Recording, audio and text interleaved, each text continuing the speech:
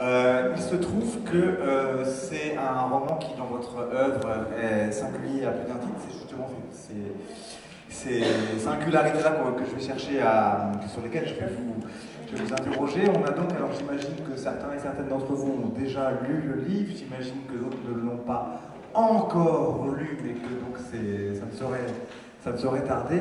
Il se trouve que nous avons une partie qui se passe, qui débute en 1914, en l'été 1914, au début de la, de la, Grande Guerre, et une autre partie euh, qui débute, euh, qui est de nos jours, dans les années 2010. Alors, euh, un chapitre sur deux va être sur la période historique et un chapitre sur deux va être sur la période contemporaine. La partie historique concerne le rapport entre l'homme, l'animal surtout, et l'envie de, guerre justement, et la chose de la prédation.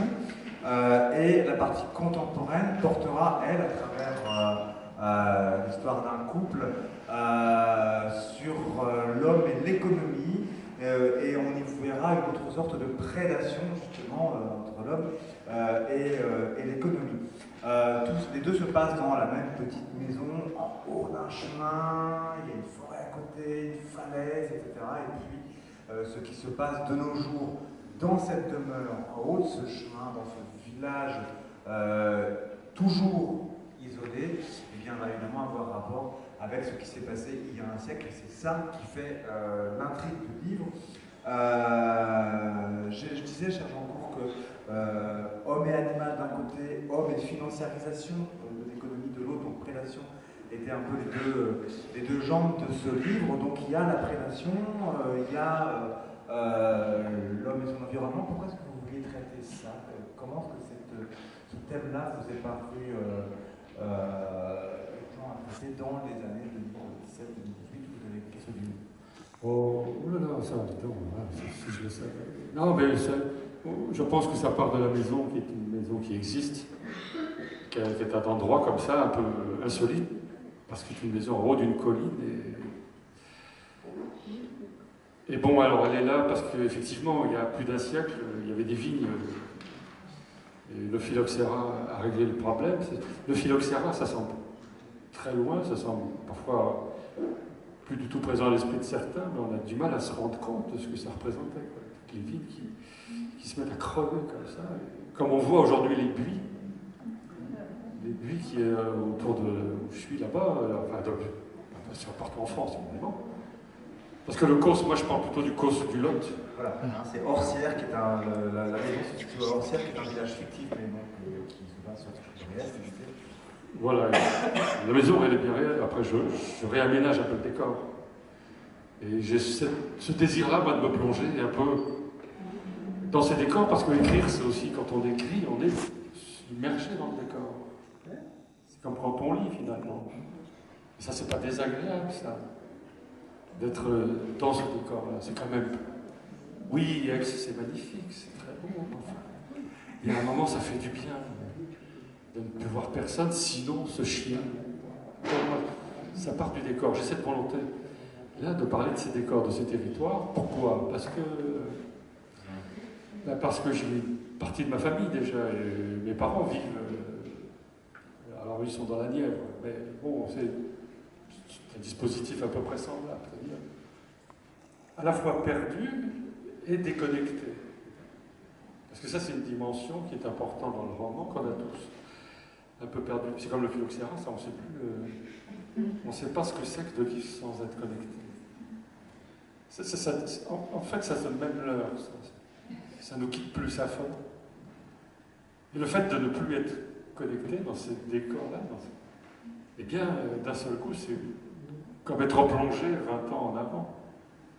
À cette époque, on arrivait à vivre sans être joignable.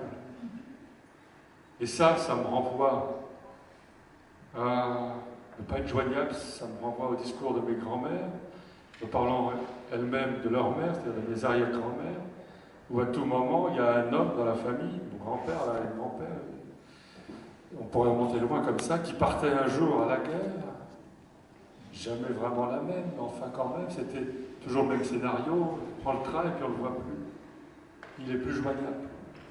Ça, ça me semble, moi, toujours complètement fou d'avoir vécu ça. D'une certaine façon, je ne m'en suis pas remis, même si je n'ai pas évidemment connu la Deuxième Guerre ni la Première. Mais c'est toujours là à hanter, surtout dans ces décors euh, du Lot, et puis on peut le trouver ailleurs. Hein. Il y a une sorte de. Le décor, on pourrait dire intact. Euh, la bande-son, ce qu'on entend, c'est. Là où je suis, il n'y a pas de voiture immédiate, il n'y a pas de tondeuse à gazon. C'est-à-dire, vous fermez les yeux, vous êtes en 14. Et au-delà de ça, il y a aussi cette forme de. Alors bon, là, on est à Aix, on est en Provence. C'est le moment aussi de se replonger dans cette littérature-là, dont Giono est quand même l'emblème, parce que la structure même de mon roman, elle obéit un peu au grand troupeau. C'est-à-dire que quand on lit le grand troupeau du Giono, on se dit tiens, on a le droit de faire un chapitre là, un chapitre là. ça permet d'être consolidé par les, par les.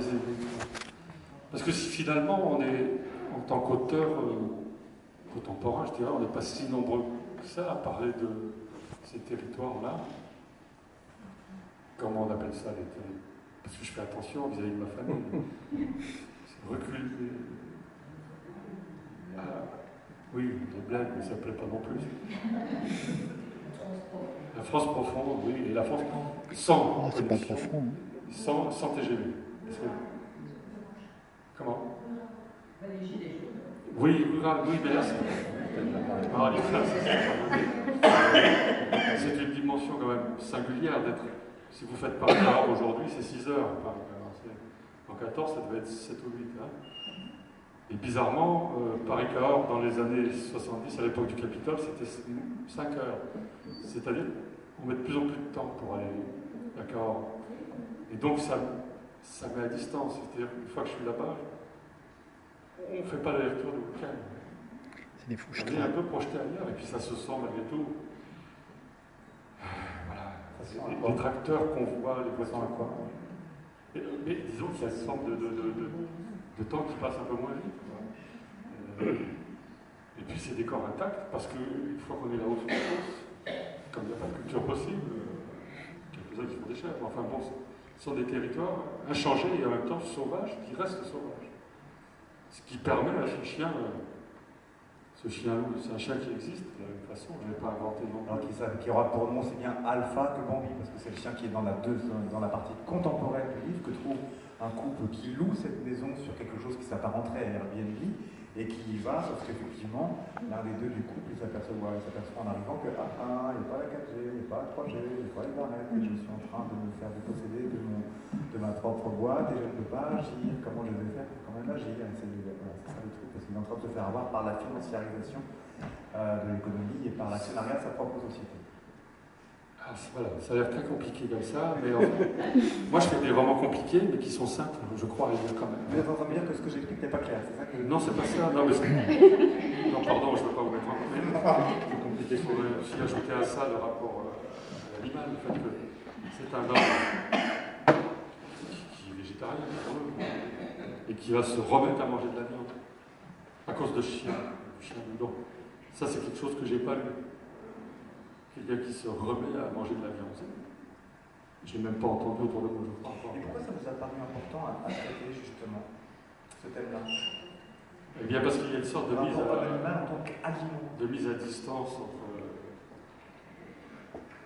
Oui, c'est vrai que ça devient maintenant suspect de regarder une vache en, se disant ça doit être bon. Quand on remonte sur Paris, là je le sais, parce qu'il fait encore jour, on va traverser le, Charolais. C'est pas loin temps. Et là, il y a quand même tout ce paysage. Là. Il est fascinant, je, le connais presque par cœur. je connais les maisons, etc. J'ai même, avec la géolocalisation, on peut retrouver le nom. Le café Saint-Loup en bas, là, vous verrez, après Macron. Oui, il y a un café, le café du il est perdu là. On, l'appelle le petit sinon, hein, ça change. Et on voit ces décors avec ces, ces charolaises qui sont sur une herbe généreuse, avec ces évives. Bah, tout ça, ça existe parce qu'il y a ces vaches qui sont à l'embauche, c'est-à-dire des vaches qui se nourrissent, qui se nourrissent principalement de. Ils ont compris ça dans le charolais, c'est que les vaches, ça mangeait de l'air. C'est peut-être pas la peine trop compliquer l'affaire en rajoutant des tourteaux de soja, des plaisirs, des machins. Il y en a qui passent même l'hiver dehors. Les vaches ne sont pas frileuses, je sais pas si vous le savez. C'est des chaudières. Appris. Elles peuvent avoir chaud. C'est pour ça qu'elles se mettent à l'ombre. Enfin, tout ça pour dire que notre rapport à l'animal, dans certaines assemblées, si vous commencez à dire que vous mangez de la viande, euh, il y en a qui vont se lever de table, vous voyez. Maintenant, à midi, qu'est-ce qu'on a eu du poisson? Hier, on a eu du poisson. Il y a une sorte de consensus pour ne pas prendre de eu du poisson. Les. Le veau, on parle pas. Alors que, et moi-même, je suis un peu atteint par, ce, par, ce- par cette contradiction, parce que quand ma grand-mère me disait d'aller chercher un, lapin dans le clapier, je savais que c'était pas pour le mettre devant la télé, c'était pour lui mettre un coup sur la tête et on le mangeait le soir. Et j'aimais ça, le lapin, d'ailleurs. La moutarde, je le faisais moi-même. Aujourd'hui, ça me semble impossible d'aller prendre un lapin dans le clapier. Alors que ça se fait encore. euh, Donc c'est- par cette thématique qui devient un peu globale, c'est par la question des, des- des produits euh, comme mettons le glyphosate ou quoi, ou des produits euh, dangereux dans les aliments de supermarché, dans, avec la question des vidéos sur les abattoirs, c'est par ce genre de, de, de news-là que vous en avez- que c'est venu à votre esprit de le mettre en fiction? Non, pas non, non, c'est cette maison dans ce décor. Et quand vous êtes dans ce décor, vous êtes renvoyé à. Déjà, vous voyez des chevreuils le soir. Des chevreuils qui descendent comme ça euh, dans la vallée. La nuit, plus tard, vous entendez les sangliers. Toute cette présence. Oui, parfois un lapin. Quand ce chien voit un lapin, il reste pas ouvert. À tout moment, il cavale. C'est pas pour jouer avec, c'est de la même façon. Et moi-même, quand je lui lance des, des- piles de, cyprès, des, pommes de des grosses pommes de qui sont denses, je joue avec lui, il a le sentiment de chasser. Il reproduit un jeu de, la chasse. Ce chien qui est mi-sauvage, et pourtant il aime jouer à ça. Et, si je l'ai fait parfois, quand il entend un chevreuil, il y a plusieurs attitudes. Soit simplement il, il entend, il se redresse, il aboie, parfois met à détailler. Je l'ai fait détailler une fois comme ça sur des, chasseurs qui faisaient le pied. C'était c'était au mois d'août, hein, chasses n'étaient pas ouvertes. hein, ils faisaient le pied sur cette place. Vraiment, ils n'ont pas vraiment été là. Et avec ce chien, je regardais ce chasseur et ces trois chiens qui disaient. J'allais dire on s'est regardé avec le chien, ça serait exagéré. Mais quand même, à un moment, ça- surtout que le chasseur ne fait même pas assis dans ma direction. Je dis au chien, chope-le. Ça était plus fort que moi. Il est parti faire de tour. Et je ne savais pas ce qu'il allait choper. Il, a chopé un chien. Il s'est mis à hurler, le chasseur. Enfin bon, ça, ça fait des histoires pendant trois ans dans la famille. Alors, est-ce que Ça, je l'ai pas mis dans le livre parce qu'à la limite, c'est trop violent. Je m'attendais. Enfin, euh, je n'avais pas à lui dire ça, mais lui n'avait pas non plus à lui répondre. Enfin, c'est quand même. Parce que c'est pas mon chien, en c'est un chien qui, appartient à un fermier qui est de l'autre côté. et qui, quand je suis dans cette maison, le chien vient parce ils ont trouvé un, type assez bon. De poire pour se démettre l'épaule et lui lancer des. Donc, ce rapport-là à la bestialité, à la sauvagerie, c'est pas la peine d'aller à Koh-Lanta ou d'aller chasser le léopard, je sais pas où. Il suffit d'aller, même par là, vous faites 20 km, retrouvez. Et vous disiez que ça a fait l'histoire pendant trois ans dans la famille. Alors pour revenir au thème du festival, pourquoi écrire, comment écrire Comment est-ce que de trois ans d'histoire dans la famille, cela devient une histoire dans l'esprit de Serge Chancourt et après dans un roman qui s'appelle Chien loup? Comment, le, comment, ça, comment ça se... euh, quel le levier À quel moment ça devient un levier littéraire? Comment ça passe d'histoire de famille à histoire de Joncourt Oui, alors non, le chasseur, il n'était pas de ma famille. Il y a des chasseurs de ma famille, c'est pas le problème, mais celui en question, euh, chez nous. Oui, parce que c'est là-bas, il y a un peu cette dimension-là. Quand une fois, je vais voir une, une fermière, Madame Tellière, qui était pas bien depuis des mois. Je, je dis là, je vais ailleurs, mais elle n'était pas bien parce que son fils avait rencontré une, une gamine qui n'est pas d'ici. Alors je m'attendais à tout. Et moi, je tâte un peu le terrain. Je dis, il est, les doux. L'Osée, c'était à 30 km. Donc c'était pas envisageable de. vous voyez, quand il y a une forme de temps qui insiste quelque part. Donc moi j'ai écrit un livre autour de ça parce que j'ai envie de parler des animaux, de notre rapport aux animaux, le fait qu'on sache plus bien où on est. J'ai envie de parler de la déconnexion parce que c'est quand même euh, quelque chose dans notre vie, ça qui n'est pas banal. Le fait qu'on soit aliéné de façon euh, consentante, de façon systématique à ce truc-là, joignable à tout moment, c'est pas neutre. Et puis parler de 14, parce que 14, j'avais envie d'en parler depuis l'arrière, de reculer. Parce que 14, c'est une guerre qui nous a concerné tous. Euh, mais enfin, les combats, c'était dans une zone bien déterminée qui n'était à voilà, on était à 800 km de, de, ces combats. Alors que la littérature, le plus souvent, elle s'est centrée sur les, soldats eux-mêmes, les poilus, et assez peu sur, les, sur ceux qui restaient. Aujourd'hui encore, il y a une production romanesque d'auteurs qu'on apprend. Oui, c'est pas quelque chose qui est arrêté, 14 ans, c'est des, des, films. Souvent centré sur les soldats. Votre roman paraît en, en août 2018, et en novembre 2018, il y a évidemment eu partout dans les pays euh vainqueurs comme parfois vaincus, les célébrations de, du centenaire de, l'armistice. Hein. Oui, enfin bon, ça, euh, oui. moi, je, Donc ça là non, je parle plus de 14, moi, parce que ce qui m'intéresse, c'est le, ce tocsin qui sonne et ces gens qui comprennent, ces familles qui se disent ça y est, ça commence. c'est quand même pas rien, ça. D'avoir un signal à un moment et tous on se dit ça y est, on entre en guerre avec les pays voisins. Bon, mais tout ça, ça a l'air complètement euh, fou, alors que c'était la réalité de ces, de gens.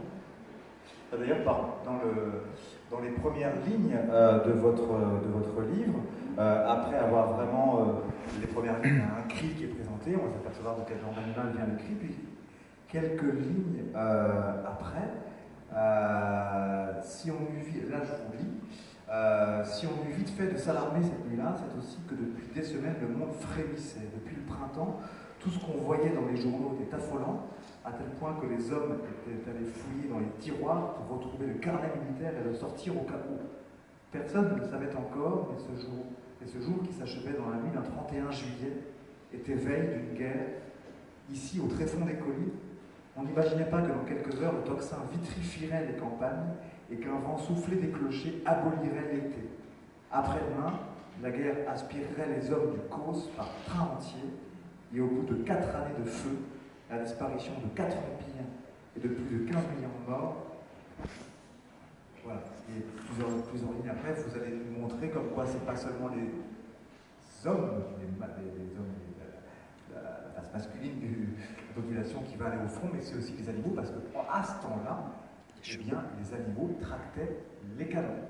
Et donc ces animaux qui tractent les canons, on les emmène aussi au front, et il faut bien les remplacer sur le champ par d'autres animaux qui vont tracter les outils agricoles. C'est aussi ça, hein, la question, c'est comment la guerre va changer les sols, l'agriculture, etc. Parce que les animaux euh, musclés, tractants, eh bien, ils sont envoyés au front pour tracter les appareils de mort, et euh, voilà, ça va changer aussi l'agriculture. Ça vous montrer. Et aussi ce rapport à l'animal qui est un rapport qui est différent quand même. Euh, le fait d'avoir un chien en 14 et aujourd'hui, c'est pas quand même pas la même chose. Il y a fortiori d'avoir des bœufs pour tirer, euh, pour tirer la charrue, sachant que déjà atteler, enfin passer le jour au bœuf, c'était en soi une... Moi je peux encore questionner des, paysans du Lot qui, qui l'ont fait encore, qui le font plus, mais qui l'ont plus, ils étaient jeunes. Donc, les, euh, euh, bœufs, et ça me permet aussi de parler de ce dompteur. Qui est un magique. Qui est un personnage qui a existé de la même façon, même si je l'ai déplacé de 50 ans, enfin, déplacé d'une guerre. Euh, un dompteur allemand qui est venu prendre sa retraite voilà, dans une maison sur le cours, au-dessus de Cahors, et qui, était, voilà, qui disait être dompteur. Et, qui avait ouvert une sorte de Lynchtube, enfin une, personne n'allait parce que déjà il n'était pas très chaleureux, très commerçant, et puis il faisait un peu Il était allemand dans un pays. Il était allemand et même, enfin, il était Arrivé. Moi, je parle là des années 80. 80. Mais d'ailleurs, à une époque où on disait encore Bosch. Ma grand-mère parlait de Bosch, des Bosch. Et être allemand en 14, c'était une sacrée affaire. hein. Qu'il y en avait des, des Allemands en France en 14 qui étaient là à différents titres, vraiment. Il y en a qui se faisaient lyncher, enfin, ça se passait mal. quoi. Bon, et ça, j'ai envie de le remettre en mémoire parce l'air. Ça a l'air tellement fluide avec les Allemands aujourd'hui, les Anglais, les Italiens. Moi, je trouve ça fragile tout le temps. Je suis peut-être d'un tempérament inquiet, mais ça ne m'est pas sorti de la tête. quoi, que, euh, dans ces périmètres-là, on se foutait sur la gueule d'une façon euh, systématique, euh, tantôt avec l'un, tantôt avec l'autre. Ce qui permet, à, contrario, de mesurer le bénéfice, la chance de, ne plus se battre avec les Allemands, avec les Anglais les Italiens, notamment. Et, et ça, on oublie euh, de façon. C'est pour ça peut-être que les auteurs sont là un peu pour, à un moment, rafraîchir les mémoires, au moins ça. Rafraîchir les mémoires. De la même façon, on pourrait parler de la violence aujourd'hui telle qu'on la voit, mais on a oublié celle des années 70, des années 80, où euh, il y avait euh, des attentats à l'explosif tous les deux jours. Alors c'était le- le- l'hyper-Atarac, le TA, le FNC, Action directe. le groupe Charles Martel, euh, enfin bon, Action Directe, les brigades rouges, enfin bon, tout ça. Les, les prises d'otages dans les avions, les, enfin, l'OLP, enfin, on a oublié. Comme si, on- à tout le moment, on a le sentiment de redécouvrir la violence. Là, euh, tous les samedis, sur un- à tel endroit, à Paris, à Montpellier. En fait, on est habité sans cesse par cette violence. Mais on l'oublie. Et, par moments, c'est bien de s'en souvenir.